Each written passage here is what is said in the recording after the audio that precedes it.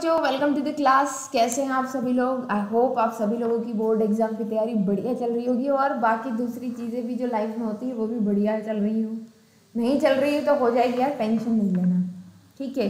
अब आप सभी लोग जो मुझसे डिमांड कर रहे थे कि मैम आप टीचिंग एप्टीट्यूड का पेपर लेकर के आइए, जो ट्वेंटी में आया है एन e के, है ना? इंटीग्रेटेड बीएड कोर्सेज की जो एग्ज़ाम हुई थी एन ट्वेंटी ट्वेंटी थ्री जो पहली बार हुआ है एग्ज़ाम, उसमें टीचिंग एप्टीट्यूड का सेक्शन सॉल्व करवाइए। तो वही आज करने वाले हैं। टीचिंग एप्टीट्यूड में ट्वेंटी क्वेश्चंस आते हैं, है ना? अलग अलग सेक्शन होते हैं, पर टीचिंग एप्टीट्यूड जो सेक्शन है, आप देख पा रहे होंगे, यहाँ नाम भी लिखा है। ठीक है? ट्वेंटी क्वेश्चन आते हैं और हर एक क्वेश्चन फोर मार्क का होता है मतलब टोटल ये एट्टी मार्क्स का पोर्शन है आपका। ठीक है? तो इंपॉर्टेंट हो जाता है, बहुत इससे रिलेटेड जितने भी नोट्स हैं, मैंने आप लोगों के साथ पहले भी शेयर किए हैं, नीचे भी डिस्क्रिप्शन में सारी लिंक आपको मिल जाएगी। तो अभी आप पेपर देखिए, किस तरह का पेपर आया है है ना? मज़ा भी आएगा आपको सॉल्व करने में। कुछ क्वेश्चन लगेंगे कि हाँ बहुत ईजी है, कुछ थोड़े टफ भी लगेंगे। हिंदी इंग्लिश दोनों में हम लोग ये क्वेश्चन देखने वाले हैं। तो ये है क्वेश्चन नंबर वन बट मैं क्वेश्चन नंबर ट्वेंटी से आपको स्टार्ट करवाऊँगी। तो चलिए, चलते हैं। आ, कौन सा पेज नंबर था भाई? Seventy six I think so हाँ ये रहा। राइट तो क्वेश्चन नंबर ट्वेंटी हिंदी में भी आप साथ में यहाँ देख पा रहे हैं। ये किसी बच्चे का पेपर है जिसने ये ऑप्शंस चूज़ किए थे। ठीक है तो उस पर नहीं जाना है। सही सही ऑप्शन क्या है वो मैं आपको साथ ही साथ समझाती जाऊँगी। तो क्वेश्चन नंबर ट्वेंटी में हमसे पूछा गया है which of the following statement is false with reference to language ये जो चार स्टेटमेंट हैं इनमें से एक स्टेटमेंट फॉल्स है, गलत है, वही आपको पहचानना है। यहाँ पर पहला है man is gifted with the speech ये तो सही है, हमें गिफ्टेड है स्पीच की जो कह सकते हैं कि quality few words are also gifted with the speech language helps in the transmission of culture words are use to control behaviour तो देखिए man is gifted with the speech language helps in transmission of culture एक generation से दूसरी generation में culture का transmission language के through ही होता है है ना? Words are use to control behaviour words behaviour को कंट्रोल करने के लिए यूज़ किए जाते हैं, ये भी बात सही है। बट इसमें गलत क्या है ना? ये जो सेकेंड स्टेटमेंट है बर्ड वाला, ये स्टेटमेंट ये गलत है तो वही हमारा सही ऑप्शन होगा। बोल रहे हैं बर्ड्स क्या स्पीच कर सकते हैं, क्या बोल सकते हैं? नहीं। बर्ड्स मिमिक करते हैं, नकल उतारते हैं। उन्हें स्पीच की क्वालिटी गिफ्टेड नहीं है। आई होप इट्स क्लियर तो ऑप्शन नंबर टू जो है, इसका सही आंसर होगा। चलते हैं नाइनटीन पर। हिंदी, इंग्लिश दोनों में देखिए, यहाँ देख पा रहे होंगे। Dyscalculia can be diagnose by और देखिए, जो हमने एक्सपेक्टेड क्वेश्चन दिए थे एग्ज़ाम के पहले, उसमें से ये क्वेश्चन है है ना? चलिए बात करते हैं डिसकैलकुलिया क्या है? भाई मैथमेटिक्स में कुछ बेसिक प्रॉब्लम्स बच्चों को आती है और ये मेजोरिटी ऑफ़ स्टूडेंट्स में होती है है ना? नंबर्स की सिक्वेंसिंग ना समझ पाना, क्या ऑपरेशन लगाना है पैटर्न ना समझ पाना, ये डिसकैलकुलिया के अंतर्गत आती है। ये एक तरीके की डिसेबिलिटी होती है, हम ये कह सकते हैं। ठीक तो dyscalculia can be diagnosed by पूछ रहे हैं कि कौन इसको डायगनाइज है। क्या सिर्फ़ टीचर कर सकते हैं? क्या स्कूल का प्रिंसिपल कर सकता है? क्या सिर्फ़ पेरेंट्स कर सकते हैं? Team of educationalist and psychologist only तो अब देखिए, अगर एक टीचर बहुत अच्छा ऑब्जर्वर भी है अपने स्टूडेंट का तो उसे भी पता पड़ जाएगा। स्कूल प्रिंसिपल तो कहीं से कहीं तक उनका लेना देना, बच्चों की टीचिंग से होता नहीं है। पेरेंट्स जो अपने बच्चों पर बहुत ज़्यादा ध्यान देते हैं, उनके साथ रेगुलर प्रैक्टिस में पार्टिसिपेट करते हैं, उन्हें लेकर के बैठते हैं कि हाँ चलो भाई पढ़ाई करनी है, वो भी इसको आइडेंटिफाई कर सकते हैं। बट हमें एग्ज़ाम में बेस्ट ऑप्शन चूज़ करना होता है तो अकॉर्डिंग टू गिवन ऑप्शन जो team of educationalist and psychologist only हम यहाँ पर चूज़ करेंगे। हालाँकि टीचर भी हो सकते हैं, कई बार कई बार पेरेंट्स भी हो सकते हैं। बट सही ऑप्शन क्या होगा? Team of educationalist and psychologist क्योंकि वो अलग अलग टेस्ट करके इसको कंफर्म कर सकते हैं कि हाँ भाई, इस बच्चे को डिसकैलकुलिया है। Right next question which among the following is a prerequisite for any scientific discovery किसी भी वैज्ञानिक खोज के लिए प्री रिक्विजिट मतलब सबसे पहले क्या पता होना चाहिए या किस चीज़ की ज़रूरत है? ठीक है? तो साइंटिफिक रिसर्च प्रॉब्लम ज़रूर रिसर्च करने के लिए आप उसके ऊपर साइंटिफिक डिस्कवरी कर पाएँगे। तो देखिए यहाँ ऑप्शन क्या दिया हुआ है? Formulation of hypothesis conducting experiment observation identification of the problem तो सब पहले ज़रूरी है डिस्कवरी साइंटिफिक डिस्कवरी के लिए कि आपके पास एक प्रॉब्लम हो। प्रॉब्लम होगी तो फिर दूसरे नंबर पर आप देखिए फ़र्स्ट नंबर पर आता है आइडेंटिफिकेशन ऑफ़ प्रॉब्लम जब प्रॉब्लम आइडेंटिफाई कर लेते हैं, फिर हम हाइपोथेसिस बनाते हैं, है ना? फिर हम एक्सपेरिमेंट करते हैं और फिर हम उसको ऑब्ज़र्व करके अपने कंक्लूजन लेकर के आते हैं। ये तो हमने अपनी एक्सपेरिमेंट बुक में भी आपकी लिखते होंगे ना? साइंस के जो एक्सपेरिमेंट करते होंगे तो। ठीक है? तो सबसे पहली चीज़ ज़रूरी क्या है? प्रॉब्लम को आइडेंटिफाई करना। तो फ़र्स्ट ऑप्शन हो जाएगा फोर्थ ऑप्शन जो है, इसका सही होगा। आइडेंटिफिकेशन ऑफ़ द प्रॉब्लम तो मैं सिर्फ़ सही पर मार्क कर देती हूँ ताकि आपको कंफ्यूजन ना हो राइट अच्छा इस दौरान जब हम ये लेक्चर सुन रहे हैं आपको कोई भी डाउट आ रहा है तो आप नीचे कमेंट बॉक्स में लिख सकते हैं अपना ग्रुप है उसको ज्वाइन कर सकते हैं। डायरेक्टली मुझे इंस्टाग्राम या फिर आ, अपनी ऐप है उस पर भी ऑप्शन है चैट का तो आप मुझसे बात कर सकते हैं जो भी आपका डाउट है कैरियर रिलेटेड हो कुछ भी। ओके नेक्स्ट है इसमें the correct sequence followed by teachers while teaching a chapter of literature literature साहित्य में जब एक टीचर चैप्टर पढ़ा रहा है टीचिंग कर रहा है किसी चैप्टर की लिटरेचर की तो क्या करेक्ट सिक्वेंस होनी चाहिए? है ना? अब देखो यार, अपने स्कूल में तो जो होता है ना, वो अलग चीज़ है बट कायदा क्या कहता है? स्कूल में तो लिटरेचर में ये होता है कि टीचर आके क्वेश्चन आंसर मार्क करवा के चला जाता है या लिखवा के चला जाता है। है ना? यही होता है ना? मेरे साथ तो यही हुआ था, आप अपना बताइएगा। ठीक है, अभी देखिए सीक्वेंस क्या है? अगर आप बनेंगे कभी लिटरेचर के टीचर तो आपको क्या ध्यान रखना है? इसीलिए तो हम पढ़ रहे हैं ना टीचिंग एप्टीट्यूड यहाँ पर बोल रहे हैं reading of the lesson by student teacher giving question answer of the lesson reading of the lesson by teacher teacher give summary of the lesson तो जब कोई लिटरेचर का चैप्टर आप पढ़ा रहे हैं तो सही सीक्वेंस क्या होगी? देखिए अब डिकोड करते हैं। सबसे पहले टीचर आकर के क्या करता है, जो भी लेसन पढ़ाने वाला है, उसके बारे में थोड़ी बहुत बातें बताता है ताकि एक बेस बने। ठीक है? फिर टीचर रीड करता है, खुद रीड करता है लेसन को। रीड करवाता है स्टूडेंट से और फिर जाकर के क्वेश्चन आंसर विथ डिस्कशन निकालने की कोशिश करते हैं। तो करेक्ट सीक्वेंस क्या हो जाएगी? डी सी ए बी मतलब कि ऑप्शन नंबर टू ऐसा नहीं है कि खुद जा बस क्वेश्चन आंसर दे दी और बात खत्म. नो ठीक है? एग्री एग्री करते हैं या नहीं आप? कमेंट में ज़रूर लिख करके बताइएगा. नेक्स्ट क्वेश्चन है यहाँ पर. Arrange the following major scientific achievement of India in chronological order तो ये जो कुछ साइंटिफिक अचीवमेंट इंडिया के दिए हुए हैं, उनको क्रोनोलॉजिकल ऑर्डर मतलब ईयर वाइज मतलब कि पुराने से लेकर के नए में हमें कालक्रम के अनुसार उनको अरेंज करना है। तो हालाँकि ये टीचिंग एप्टीट्यूड से रिलेटेड नहीं है तो लगभग एक जीके की तरह का क्वेश्चन है ना जनरल नॉलेज का क्वेश्चन है। बट दिया हुआ है तो करना है सॉल्व चलिए करते हैं राइट ठीक है तो सबसे पहले जो है हमारी लॉन्च हुई है फ़र्स्ट सैटेलाइट राइट क्या नाम है उसका? कमेंट बॉक्स में लिख करके बताइए, जल्दी से।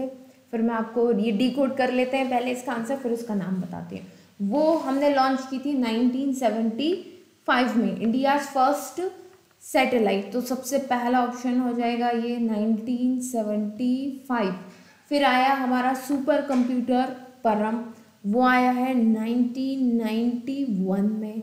तो पहला ऑप्शन हो जाएगा बी फिर है A then Mars orbit mission हुआ था। दैट इज़ 2013 में और चंद्रयान, सभी को मालूम है, चंद्रयान टू हुआ है 2019 में। तो ऑप्शन क्या हो जाएँगे? बी ए सी एंड फिर डी मतलब कि यस ऑप्शन नंबर फ़र्स्ट और फ़र्स्ट हमारी सैटेलाइट का क्या नाम है? आर्यभट्ट। आपको नाम याद रखना है, आर्यभट्ट। ओके चलिए नेक्स्ट आगे बढ़ते हैं। नेक्स्ट क्वेश्चन है हमारे पास। In the school curriculum the study of social science start at the तो हमारे जो स्कूलिंग की अलग अलग ये जो स्टेजेस हैं एलिमेंट्री स्टेज है middle stage secondary stage secondary senior secondary stage इनमें से किस स्टेज में सोशल साइंस पढ़ाना स्टार्ट कर दिया जाता है? जस्ट थोड़ा थोड़ा इन्फॉर्मेशन देना स्टार्ट कर देते, एक नॉलेज देना कि भाई हाँ ये भी एक एरिया है जिसके बारे में हमें पता होना चाहिए। ऑब्वियस सी बात है एलिमेंट्री स्टेज जो कि फ़र्स्ट से लेकर के फिफ्थ तक हम आ, मानते हैं राइट तो एलिमेंट्री स्टेज मतलब कि प्राथमिक चरण जो है उसमें सोशल साइंस का एक आइडिया करिकुलम में देना स्टार्ट कर दिया जाता है। हालाँकि वो एक सेपरेट सब्जेक्ट नहीं होता है पर हाँ वो कहते हैं ना E V S environmental science उसी में इसके थोड़े थोड़े चैप्टर इंक्लूड कर दिए जाते हैं। फिर बात आती है which of the following is considered as a formative assessment in mathematics classroom तो फॉर्मेटिव असेसमेंट मैं आपको बता देती हूँ, वो असेसमेंट होते हैं जो ऑन गोइंग है ना? मैंने पहले भी क्लासेस में समझाया हुआ है फॉर्मेटिव असेसमेंट और समेटिव असेसमेंट समेटिव असेसमेंट मतलब कि एक पूरे ड्यूरेशन में जो आपने पढ़ा है, उन सबको असेस करना, उसका टेस्ट लेना। ठीक है? बट बीच बीच में एक छोटे छोटे जो आपके क्लास टेस्ट होते हैं है ना? कभी मैडम ने क्विज करवा लिया, कभी सरप्राइज़ टेस्ट ले लिया। वो सब क्या है? फॉर्मेटिव असेसमेंट होते हैं। ठीक है? और जो आपकी मेन एग्ज़ाम होती है टर्म वन टर्म टू वो सब क्या है? वो आपके फॉर्म समेटिव असेसमेंट में आते हैं। तो इनमें से कौन सा? हॉलीडे होमवर्क होगा क्या? नहीं। फाइनल ईयर एग्ज़ाम तो समेटिव है हॉलीडे होमवर्क भी समेटिव है मिडिल टर्म एग्ज़ाम भी समेटिव है। तो पॉप क्विज जो है, वो फॉर्मेटिव है। है ना? ऑन द गो कभी भी ले लेती है मैम। ठीक है? तो पॉप प्रश्नोत्तरी, हिंदी में इसका सही आंसर नेक्स्ट चलते हैं, बात करते हैं in which of the following film and empathetic portrayal of Delhi's E W S student is film तो ये एक फ़िल्म है जिसमें एम्पैथेटिक एक कहानी बताई गई दिल्ली के एक ई डब्ल्यू एस स्टूडेंट की। तो वो कौन सी कहानी है? वो फ़िल्म कौन सी है? एक्चुअली में ये पूछा जा रहा है, मुझे भी काफ़ी रिसर्च करने के बाद पता चला। रेडी स्टडीज़ का नाम है। क्या नाम है फ़िल्म का? रेडी स्टडी जो कि दिल्ली के एक ई डब्ल्यू एस स्टूडेंट के ऊपर फ़िल्म आई गई थी। ठीक है?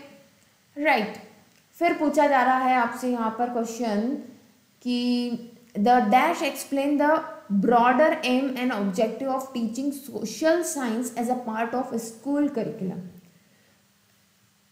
dash explain the broader aim and objective इनमें से कौन सी टर्म है जो सोशल साइंस टीचिंग की ब्रॉडर एम्स और ऑब्जेक्टिव को दर्शाती है? मतलब कि एम मतलब कि लक्ष्य व्यापक लक्ष्यों और ऑब्जेक्टिव्स को दर्शाती है।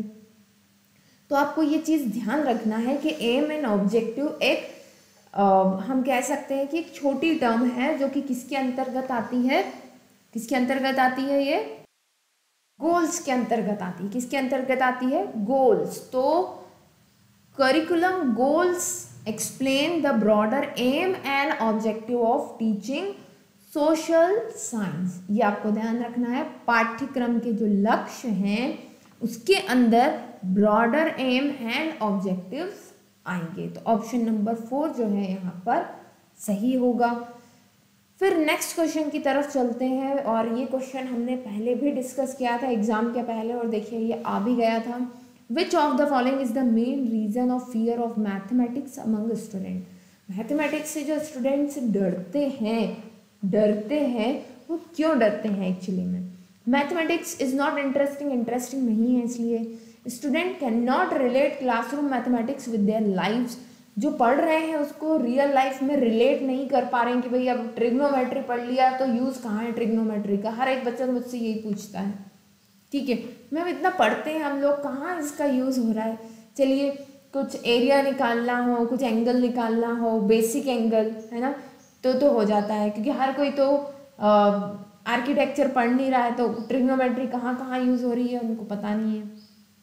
ठीक है अब mathematics teachers have no subject knowledge mathematics के टीचर के पास कोई नॉलेज नहीं होता है. मैथमेटिक्स इज़ लॉजिकल इसलिए बच्चों को उससे डर लगता है.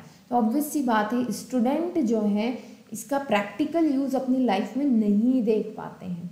ठीक है? अपनी लाइफ में वो जो भी कर रहे हैं, उसमें डायरेक्टली मैथ्स को रिलेट नहीं कर पाते हैं. इसलिए बच्चे मैथ्स से डरते हैं. अगर आप उनको रियलिटी में जो कॉन्सेप्ट आपने सीखे उनको कोरिलेट करना सीख जाएँगे maths will be fun right but वो बड़ा डिफ़िकल्ट होता है। Okay next which aspect of let me, yes. Which aspect of language are? इनमें से कौन से ऑप्शन में से जो कुछ टर्म्स दी गई हैं, वो लैंग्वेज से जुड़ी हुई हैं। अब ये कहते हुए मुझे बड़ा बुरा लग रहा है कि इसमें कुछ ऑप्शंस गलत हैं राइट तो मैं आपको सही ऑप्शन बताती हूँ, गलतियाँ निकालने हम यहाँ नहीं बैठे हैं।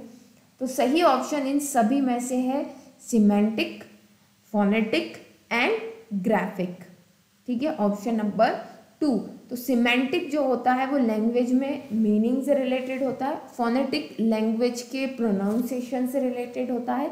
एंड ग्राफिक जो होता है वो रिटर्न uh, से रिलेटेड होता है। ठीक है?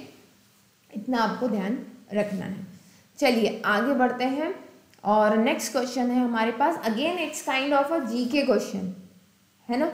ये कोई टीचिंग एप्टीट्यूड से रिलेटेड नहीं है। इसमें कोई टीचिंग स्किल जैसी चीज़ नहीं है। It's just like a G K okay तो यहाँ पर लिस्ट वन और लिस्ट टू दी है, कुछ फ़ेमस इन्वेंशन दिए हैं और उन, जो, उन इन्वेंशन को जिन साइंटिस्ट ने किया है, उनको मैच करना है। तो बड़ी सीधी सी बात है रमन इफ़ेक्ट जो है सी वी रमन ने दिया है है ना? Green revolution M S Swaminathan इन इन्होंने इसको प्रपोज किया था। देन एटॉमिक थ्योरी जो है, वो है just second let me remove this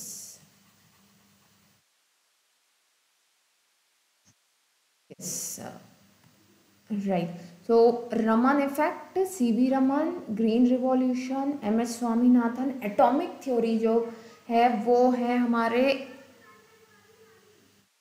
J H Bhabha जो कि एटॉमिक हम कह सकते हैं कि फिजिक्स से रिलेटेड है और crystallography that is J C Bose okay next चलते हैं। नेक्स्ट भी it's a kind of a G K kind of question right so next question है हमारा, यहाँ पर हमें कुछ बुक्स के नाम दिए गए हैं और ऑटोबायोग्राफी है एक्चुअली ये, और किस पर्सन से ये रिलेटेड है, ये हमें डिकोड करना है।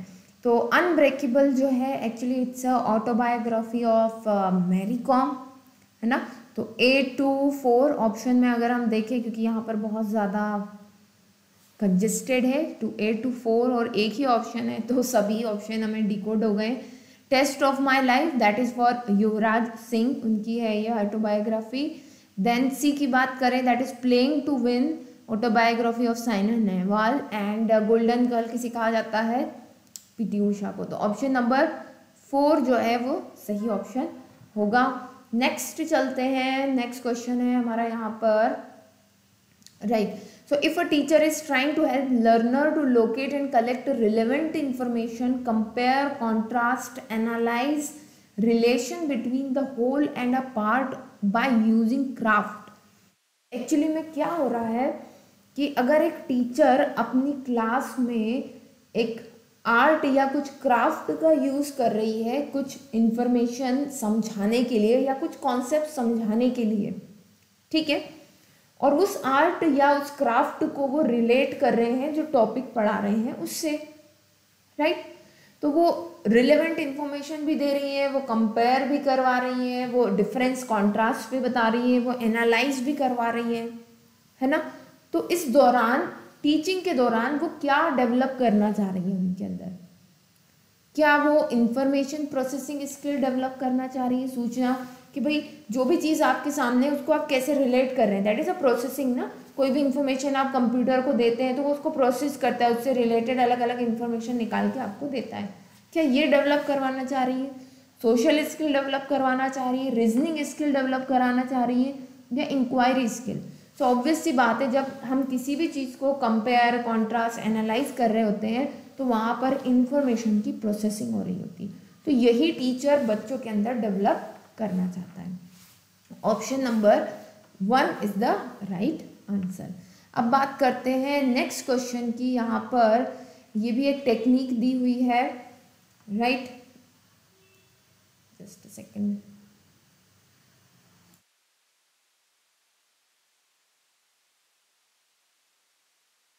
ओके यहाँ पर पूछा गया है dash based learning can be conductive tool for acquainting student with various aspect of social realities integration perspective from different discipline in investigating the cause of problem and in thinking about the relevant social action तो किस तरह की learning बच्चों के अंदर किसी भी social issue या कोई भी रियलिटी है उसको लेकर के जागरूकता लेकर के आती है है ना क्या क्या वो आ, एक रो, एक हम कह सकते हैं कि एक सब्जेक्ट जो है वो किस किस तरह की फीलिंग उसके अंदर हो सकती है किस किस तरह की चीज़ें उसको सिचुएशन में झेलनी पड़ सकती हैं सोशल एक्शंस देखने को मिलती हैं, है ना? तो क्या सिमुलेशन होगा तब? रोल प्ले होगा तब? पोस्टर मेकिंग या इशू तो यहाँ पर सही ऑप्शन होगा रोल प्ले क्या होगा? रोल प्ले रोल प्ले में हम क्या करते हैं? किसी एक कैरेक्टर को प्ले करते हैं, है ना? तो मान लीजिए कोई स्टोरी है वहाँ पर तो आप स्टोरी के अलग अलग कैरेक्टर बन गए तो वो क्या हो गया? रोल प्ले हो गया। तो आप वो जो कैरेक्टर है, जिस प्रॉब्लम को झेल रहा है, उसको ज़्यादा अच्छे से समझ पाते हैं। है ना? तो रोल प्ले इसका सही आंसर होगा। नेक्स्ट यहाँ पर पूछा गया है student is drawing an outline using a lead pencil एक बच्चे ने एक ड्राइंग बना दी ड्राॅइंग की आउटलाइन बना दी है।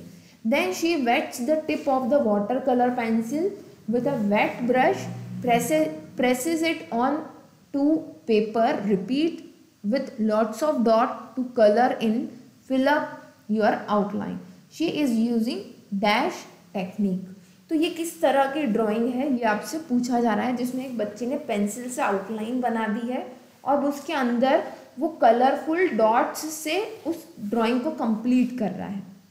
ठीक है? तो क्या ये पॉइंटिलिज्म है? ये पिच ऑफ़ सॉल्ट है? ये ग्लॉसी इफ़ेक्ट है या ये इम्बॉस है? ऑब्वियसली बात है इट्स अ पॉइंटलिज्म आपने देखा होगा ना डॉट्स बना करके एक ड्राइंग कंप्लीट कर दी जाती है। हो सकता है वो डॉट्स सेम कलर के है डिफरेंट कलर के भी हो सकते हैं। बेसिकली डिफरेंट कलर के होते हैं तो उसमें शेड से पूरा पिक्चर उभर करके आता है। Okay next question that is fourth question और ये जो फोर्थ क्वेश्चन है that is yes theatre is an excellent medium for all of the following except theatre एक एक्सीलेंट मीडियम है, उत्कृष्ट माध्यम है किस चीज़ का? इनमें से एक चीज़ को छोड़ करके। है ना? तो वो जो एक चीज़ थिएटर नहीं दर्शाता है थिएटर में नहीं होती है वो आपको ढूंढना है। है ना? तो expression of exploration of self in relation to other अपने खुद के संबंध में अपनी खोज करना है ना? तो हम जब थिएटर uh, करते हैं नाटक करते हैं है ना? कुछ एक्ट करते हैं तो हम अपने आप को भी एक्सप्लोर कर पाते हैं। तो ये तो थिएटर का एक बहुत बड़ा एम होता है। बच्चों से थिएटर इसीलिए कराया जाता है ताकि वो अपने आप को सेल्फ एक्सप्लोर कर सके और सेल्फ एक्सप्रेस भी कर सकें। तो development of understanding of the self दोनों ही थिएटर के मेन एम होते हैं। फिर पूछ रहे हैं tool for enhancing the prestige of school on special occasion क्या अपनी, अपना लोहा मनवाना मतलब कि स्पेशल ओकेशन पर स्कूल की प्रेस्टीज को बढ़ाना, प्रतिष्ठा बढ़ाने के लिए किया जाता है। और फिर फोर्थ भी सुन लेते हैं development of critical empathy towards the natural physical and social world तो प्राकृतिक, भौतिक और सामाजिक दुनिया के प्रति आलोचनात्मक सहानुभूति का विकास करना क्रिटिकल मतलब बैलेंस्ड है ना? ऐसा नहीं कि बिल्कुल कुछ गलत है, सही और नहीं है तो है, ही क्रिटिकल बैलेंस्ड आलोचनात्मक। तो वन टू और फोर तो थिएटर के आ, हम कह सकते हैं मेन एम में से होता है बट ये स्कूल की प्रेस्टीज बढ़ाना इसलिए थिएटर नहीं किया जाता है एक्चुअली ठीक है अगर कोई करवाता है तो वो गलत है है ना? तो थर्ड ऑप्शन जो है वो हम यहाँ पर चूज़ करेंगे क्योंकि एक्सेप्ट पूछा है को छोड़कर। फिर बात आती है हमारी नेक्स्ट फोर क्वेश्चंस की और यहाँ पर हमारे पास एक पैराग्राफ ठीक है? तो इस पैराग्राफ, इसीलिए मैंने जो है शुरू में नहीं इसको स्टार्ट किया। थोड़ा सा मैं आपको पैराग्राफ बताती हूँ कि ये है क्या। देखिए, एक कॉन्सेप्ट होता है हमारे पास। ये पैराग्राफ है आपके सामने। इंटीग्रेटेड एजुकेशन इंटीग्रेटेड एजुकेशन होती क्या है? समावेश करना, है ना? समावेश मतलब कि जोड़, जोड़ना। आप समावेश ना कह करके हम कह देंगे कि इंटीग्रेट करना मतलब कि जोड़ना, ठीक है? अब यहाँ पर बात हो रही है इस पैराग्राफ में आर्ट इंटीग्रेशन इन एजुकेशन। तो एजुकेशन में अगर आपकी क्लास में कोई भी सब्जेक्ट आपको पढ़ाया जा रहा है, चाहे वो साइंस ही क्यों ना हो, उसको अगर थोड़ा सा आर्ट से जोड़ दिया जाए तो वो आपके लिए ज़्यादा इफ़ेक्टिव हो सकता है, बच्चों को चीज़ें और ज़्यादा अच्छे से समझ में आ सकती हैं। फॉर एग्ज़ाम्पल अगर आप कोई भी कॉन्सेप्ट पढ़ रहे हैं साइंस का मान लीजिए फोटोसिंथेसिस ही पढ़ रहे हैं, या आप वॉल्केनो इरप्शन ही पढ़ रहे हैं, है ना? अगर आप उसका मॉडल बना लें, एक तरीके का आर्ट है वो मॉडल बनाना, है ना? तो अगर आप उसका मॉडल बना के फिर बच्चों को समझाते हैं तो ऑब्वियस सी बात है कि उनको जल्दी समझ में आएगा, क्योंकि उनके सामने कुछ कॉन्क्रीट चीज़ें रखी हुई हैं। एब्स्ट्रैक्ट नॉलेज नहीं है ये, कि हाँ ऐसा होता है, वैसा होता है, बस दिमाग में ही बातें चल रही हैं। उनके सामने फिजिकली कुछ चीज़ें प्रेजेंट है तो वो देख करके आसानी से समझ सकते हैं। बस यही इस पैराग्राफ में बताया गया है कि आप कोई भी सब्जेक्ट पढ़ाने जा रहे हैं, ठीक है? इन सब्जेक्ट को अगर आप आर्ट से जोड़ते हैं तो उससे बच्चों की अंडरस्टैंडिंग बढ़ती है। राइट और that is called the holistic और द कंप्लीट लर्निंग होलिस्टिक और the complete learning. Art provide language for expression. This expression can be visual or in the form of a performance. So, visual भी हो सकता है और कोई performance भी हो सकती है। जैसे कि हमने कई बार देखा है कि सोलर सिस्टम पढ़ाते हैं तो बच्चों को अलग अलग प्लानट बना देते हैं राइट right? तो वो सन बीच में खड़ा रहता है, बाकी बच्चे घूमते रहते हैं, उनके आसपास बोलते हैं, हम प्लानट हैं, हम पास में घूम रहे हैं तो मैं मर्क्यूरी हूँ वीनस हूँ, इस तरह से, ठीक है? तो ये समझ गए होंगे मेरे ख्याल से कि किस तरह से आर्ट को हम अपनी किसी भी क्लास में इंक्लूड कर सकते हैं। अब आगे बात आती है यहाँ पर आ, कि इससे फ़ायदे क्या क्या हैं? तो art integrated curriculum can provide means to bridge content of different subject in logic logical learner learner centric and meaningful way तो लॉजिकल लॉजिकली भी हम समझ पाएँगे। कंटेंट को लर्नर सेंट्रिक भी हो जाएगा क्योंकि बच्चों का इन्वॉल्वमेंट बढ़ जाएगा और बहुत मीनिंगफुल भी हो जाएगा। बच्चों को हर चीज़ें समझ में आएँगी। All such subject such as mathematics science social science and language and their abstract concept can be को तो इन सभी कॉन्सेप्ट को हम एक साथ को कर पाते हैं लिंक कर सकते हैं और कंक्रिटाइज कॉन्क्रिटाइज मतलब कि एक uh, फ़िज़िकल फॉर्म देना जिसे बच्चे ऑब्ज़र्व करके और अच्छे से समझ जाएँ उस बात को, है ना? Learn effectively with the art at the centre learning by this methods holistic joyful and experiential तो ये कंप्लीट लर्निंग होती है, इसमें बच्चे खुश भी बहुत होते हैं एक्सपेरिमेंटल फॉर्म में होती है तो बच्चों को जल्दी समझ में भी आता है। ठीक है? तो ये होलसोल इस पैराग्राफ का जिस्ट था, हम कह सकते हैं। अब बात करते हैं क्वेश्चन की तो art integration refer to art का एजुकेशन में इंटीग्रेशन से हम क्या समझते हैं? तो integrating art as a co curricular area of study for every child क्या ये होगा? Using art as compulsory curriculum subject in school combining art with the teaching of different curricular area making art subject available for free time obvious सी बात है combining art with the teaching of the different curricular area अलग अलग subject जब पढ़ा रहे हैं, और उसमें हम आर्ट को जोड़ दें, वही क्या है? आर्ट इंटीग्रेशन है ना? तो ऑप्शन नंबर थ्री इसका सही आंसर होगा। क्वेश्चन नंबर टू की तरफ़ चलें अगर। राइट तो नेक्स्ट क्वेश्चन है which among the following are the true about art education right तो यहाँ पर देखिए, ये सब पैराग्राफ में ही आपके प्रेजेंट है। अभी हमने देखा पैराग्राफ में दैट आर्ट जब भी हम यूज़ करते हैं तो in art integrated curriculum art become the basis of classroom learning ये सीधी सीधी लाइन यहाँ पर दी हुई है राइट right? दूसरी बात यहाँ पर दी हुई है art provide language for explanation ठीक है? तो जिन कॉन्सेप्ट को आप पहले ऐसे एब्स्ट्रैक्टली एक्सप्लेन नहीं कर पा रहे थे, अब जब आप आर्ट यूज़ करेंगे तो आप इजीली उसको एक्सप्लेन कर पाते हैं ओके तो ये सारी चीज़ें यहाँ पर हमें दी हुई है। अब जब ध्यान से वर्ड टू वर्ड पढ़ेंगे तो आपको सारे आंसर मिल जाएँगे। ओके नेक्स्ट क्वेश्चन की तरफ़ बढ़ते हैं। नेक्स्ट क्वेश्चन है यहाँ पर। Yes question number three an art integrated curriculum can provide means to means to bridge content of different subject in right तो ये डायरेक्ट यहाँ पर एक स्टेटमेंट है, उसको फिल करना है। देखिए, यहाँ पर दिया हुआ भी है ये स्टेटमेंट आपको मैं बता देती हूँ।